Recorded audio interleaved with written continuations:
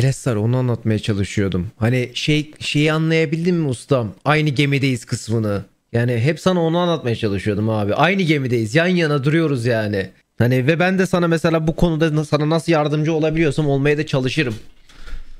Evet abi yani çünkü ya şunu anlatmaya çalışıyorum. Bazıları mesela şey diyor ya abi sen yayıncısın paranı bilmem ne şey senin paran iyi bilmem ne değil abi değil.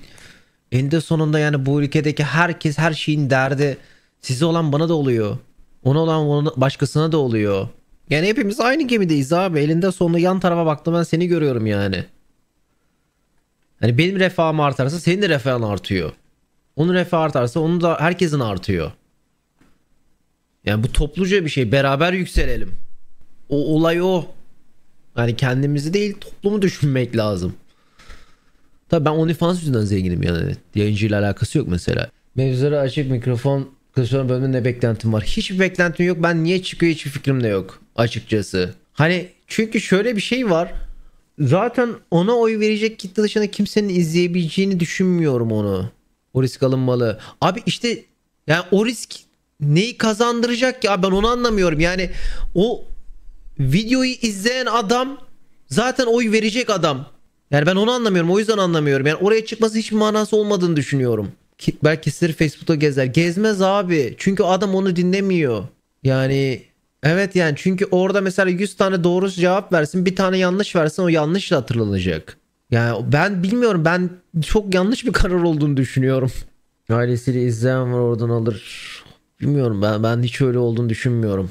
Ya bilmiyorum ben, ben benim mantığıma gelen bir şey değil o ama yani bence Kılıçdaroğlu'na oy vermeyen genç seçmenler onları etkilemek içindir. Yo öyle olabilir de işte diyorum ya yani o mesela o seçmenden 100 bin kazanacaksa orada yapacağı gaf 500 bin kaybettirir diye düşünüyorum açıkçası. Yani getirisi götürüsünden daha fazla olacak bir şey gibi düşünüyorum. Yani alınacak risk değil diye düşünüyorum. Belki de yanılırım. Belli de olmaz yani. Ben gerçekten belki de yanılırım yani. Ne yapabilir ki başka? Abi diyorum ya işte yani yani her kendi fanımızsınız oğlum. Twitter'da bu e, açık mikrofonda bizim kendi fanusumuz zaten. Hani hep aynı fanustayız. Çıkmıyoruz. Yani o fanus fanustan çıkmadığımız sürece bir şey değişmeyecek. Yani onun yerine Facebook'ta gerçekten kılıç şey Kırıtlar Vadisi edit yapılsa daha çok işe yarar bence. Yani çok açık ve ne söylüyorum. TikTok'ta, Facebook'ta Kılıçdaroğlu Kurtlar Vadisi edit daha fazla işe yarar diye düşünüyorum ben. Var zaten. Yo biliyorum olduğunu biliyorum da hani buna daha yüklenseler hani daha yani şimdi dil sertleşti ama sertleşmiş dil bile sertleşmiş bir dil değil. Çünkü abi şunu gördük yani. Yani karşı tarafa şöyle yapıyorsun adam gay mi bu diyor. Yani bu. Yani ne yazık ki bu. Yani anlayacağı dilden anlatman lazım. Yani korkuyla yani korkuyla yönetilmek istiyorsa korku satman lazım ne yazık ki. Yani biz iyiyiz onlar kötü değil. Biz kötüyüz onlar daha kötü diye gitmen lazım şu noktadan sonra. Çünkü biz iyiyiz onlar kötü yemiyorlar. Burada biz kötüyüz onlar daha da kötü o zaman. Dam vuracaksın. Ama işte dedim ya bunları da diyorum da bu da tutmayabilir ki oğlum. Türkiye'de anlayamıyorum. Ben hani zaten hiçbir zaman anladığımı da söylemedim yani. Yani Türkiye'de ne tutuyor yani abi hiç ben bilmiyorum yani tabii ki de chat yani vardı tabii ki de bu o milliyetçi oyların fırlayacağını gören insanlar vardı. Bizim Discord'da da var. Burada Frosty de vardı. Ama yani kimse bu de seviyede tahmin edemezdi yani. Bence Kılıçdaroğlu konuşmasındansa konuşmalarda Hüdapar'ın bence eski konuşmanı göstermesi gerekiyor. Katılıyorum. Aynen işte. Aynen. Kendisi konuşmayıp gerçekleri göstermesi lazım direkt. Peki neden ısrarla sınıf siyaseti yapmak yerine kim siyasetine bıraktı? Açız fakiriz paramız yok dese kazanmıştı. Katılmıyorum. Açız fakiriz paramız yok siyaseti üzerinden çok iyi gittiler bu arada. Hiç boka yaramadı. Ekonominin önemi olmadığını gördük arkadaşlar. Bu seçimde ekonominin etkisi gerçekten çok azdı. Hani tabii ki de oyu azalttı ama seçim kazandıracak kadar etkisi olmadığını gördük. Yani şu anda Türkiye'deki en önemli şeyin mülteci şey olduğunu gördük veya sadece mülteci değil de e, milliyetçilik kimliğinin e, tehlikeye düşmesi olduğunu gördük. Bu bu seçimin kritik şeyi milliyetçilik. Ekonomik temesinde kötülüksüz ne olacağı anlatılmalıydı. Abi anlatma diye bir şey yok. O kısmını düşüşsüz yani daha doğrusu bence koptuğunuz nokta anlatma ve konuşma kısmı. Öyle bir şey yok. Yani şey yok. Yani konuşma yok.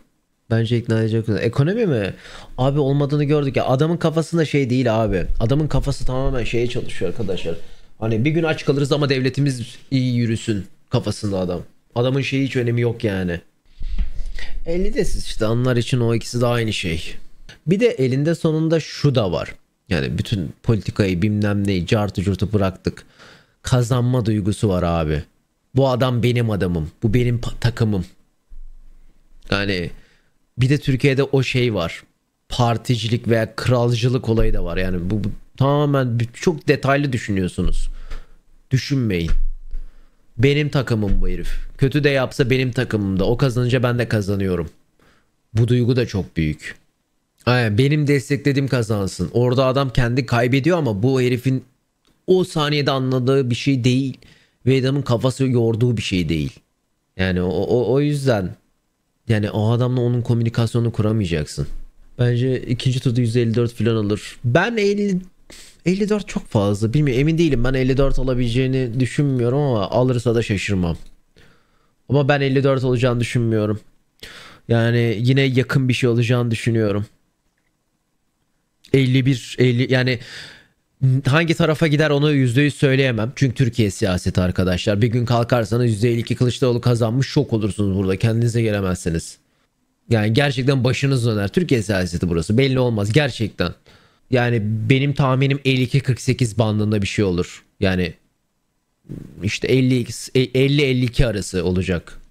Tabi bu arada elinde sonunda şey de var abi. Yani şey denklemi çok zor. Bu bu seçimin denklemini yapılması çok zor. Evet yani Erdoğan %0.5 kadar yakın ama şimdi geçersiz oy kullanan geçersiz oy kullananın birçoğu da yanlış yapılan oylar değil.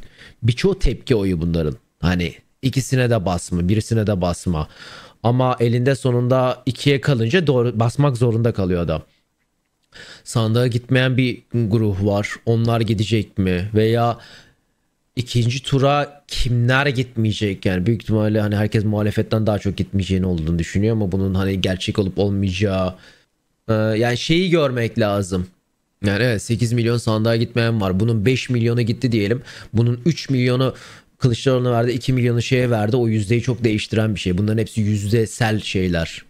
Ya şeye bakmak lazım. Ee, ya Türkiye siyaseti abi ben Türkiye siyasetinde hiçbir şey şaşırmıyorum. Ya her şey olabilir diye bakıyorum. Yani Türkiye siyaseti böyle. Mesela bazılarınız çok umut kaybetmiş bilmem ne falan görüyorum da abi. ikinci tura bile kalmak benim için bir umuttur. Ve iyi bir umuttur yani. Bazıları şey diyor umut tacili falan. Hayır abi ben o yüzde ona bile çok büyük bir umudu olarak görüyorum.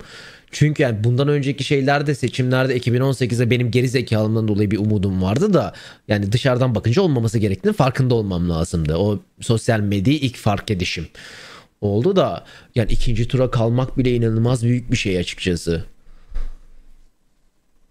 Ya gerçekten inanılmaz bir şey. Yani adamın ilk defa kazanamadığı bir şey oldu. %45 bana bir umut ver. Abi %45 diye bir şey değil. Şimdi orada %45 yani %4 fark var bilmem ne de oradaki oy sayısı önemli. Şimdi elinde sonunda ikinci tura kaldığında bunlar biraz dağılıyor.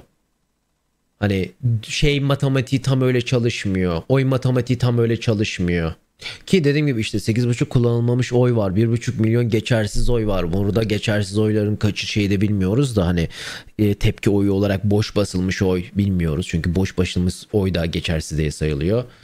Ee, yani dediğim gibi ben abi şey değilim. Tabii ki de hani pesimist olabilirsiniz bu durumda ama ben hep şeyde konularda şey diyorum. Realist bak, bakan bir insanım. İkinci tura kalmak bile benim için çok büyük bir şey. Ya inanılmaz büyük bir şey abi. Yani ikinci tura kalabilmek, iki, ilk turda yenememesi veya hani o, o bile büyük bir umut benim için. Hiç olmayan bir umut çünkü. Yani şu ana kadar hiç olmamıştı çünkü yani. Adam direkt tak tak tak win streak yani hersinde perfect gitti yani. Ki şey de var bu arada. Ee, elinde sonunda ilk turda hani daha da tepki oyalarak inceye basan veya Sinan Ogan'a üçüncü biri olarak basan da var. Göker 14 gün limitim var. Kazanma da ümidim var mı? Var oğlum her zaman var. Dedim ki %10 ümit olsa bile ben o %10 için götümü yırtarım arkadaşlar. 4 senede bir 3 senede bir gelen bir şans bu. %10 şansımız var tüh abi o zaman salalım diyecek bir adam değilim ben. Ki %10 olduğunda düşünmüyorum. Biraz daha fazla olduğunu düşünüyorum ama yani, tabii %50 falan değil. Yani o %10 için bile ben götümü yırtarım abi. %1 olsa bile götümü yırtarım. Yani şans yani herhangi bir şekilde bir umut varsa bir şans varsa 3 senede 4 senede bir gelen bir şey için ben götümü yırtarım abi çabalarım. Ya birçoğunuz burada CSGO bet sitelerin reklamını görüp o abi ben de kumar oynayıp deyip giriyorsunuz. Oradaki şansınız bu yani oradaki bıçak kazanma şansınız bu seçimi kazanma şansından binde bir falan daha az öyle diyeyim. Yani baya baya daha az. Hani o, o- ona şey yapıyorsanız buna kesinlikle yapmanız lazım. Öyle anlatayım size. Yüzdesel oranı. İlk defa oy kullanan çok sert umutsuza düşüyor. E tabi ilk defa o kaybetmenin yani da kazanamamanın şeyi. Ya şöyle söyleyeyim ikinci şansları olduğuna dua etsinler. O bizde hiç o yoktu şu ana kadar. Patates ben de katılıyorum ona. Dedi de. Düşünceler inanıyor. İnanıyorum oğlum ben her zaman en başından beri söyledim. Tabii ki de inanıyorum. İnanmasam böyle konuşmam. Ya ikinci tura kal, kal yani niye inanmayayım? Tabii canım dünyada özellikle son 3 senede ilk tur kazanıp ilk tur daha yüksek oy alıp ikinci tur daha az oy olan ve 20 yıllık 10 yıllık yönetim biten çok şey var son 5-6 senedir. Hani bu patern bayağı hani bayağı bayağı var. Karadağ en yakın örnek. Brezilya ikinci örnek. O da ikinci turda bitti. Aynı şekilde. Brezilya da onlardan birisiydi. Karadağ'daki fark çok az ama. Ya az olsun. Ne fark edecek? Ya eninde sonunda abi artı bir oy bir değiştiriyor bütün olayı. 50 artı bir abi. Bütün şey o yani. Ya o kadar şey ki sadece lafı söylem değişiklikte boşuna umutlanmayalım. Ustam boşuna umutlanmayalım demek bence dünyanın en boş şeyi. Ne yapacaksın amına koyayım? Düz duracak mısın? Umutlanmayacağız, umutlanmayacağız, umutlanmayacağız. E neydi? Ne yapacağız abi bu hayatta? Başka ne sik yapacağız? Ne yapacaksın? Ya sen o, o şey oyunu ver abi. Ya oyununuzu verin abi. Gidin oyununuzu verin. AKP'nin ikinci turu için bir şey yapması lazım? E önde çünkü. Şimdi yani önde olunca herhangi bir hareket negatife patlayabilir. Hiçbir şey yapmamak daha safe bir hareket. Geride olsaydı farklı hareketler yapardı. Vysox ver ustam ver. Ver. Vermezsen daha çok pişman olacaksın. Vysox öyle olmuyor işte. Herkesin bir tane oyu var. Yani o bir bile değiştiriyor ustam. Yani senin gibi 100 kişi, 1000 kişi yapsa bile değişiyor yani. Yapmamak çok bilmiyorum. O kendine daha büyük ihanet. Bir de abi oy vermek 20 dakika 30 dakika sürüyor maksimum. Öyle düşün. Ne kadar sürebilir ki abi? Maksimum 30 dakika ya. Yok bütün işlem diyorum oğlum. O basmak zaten 5 saniye sürüyor. E bunda daha da böyle origami de yapmak zorunda kalmayacaksın bu sefer. Eski yani bir öncekinde origami yapmaya çalıştık da bu sefer origami de olmayacak. Direkt bir tane şey var, iki tane şık var. Dan diye koyacaksın geçeceksin işte. Masayı kırmayın. Yani bunu deme bunu diye olmam bile çok komik ama lütfen pusulaları, masayı, mührü kırmayın. Geri zekalı geri zekalı hareket etmeyin. Teşekkürler amin. Efendi gibi basın. Bunu diye olmam bile komik de neyse. Tabii canım abi.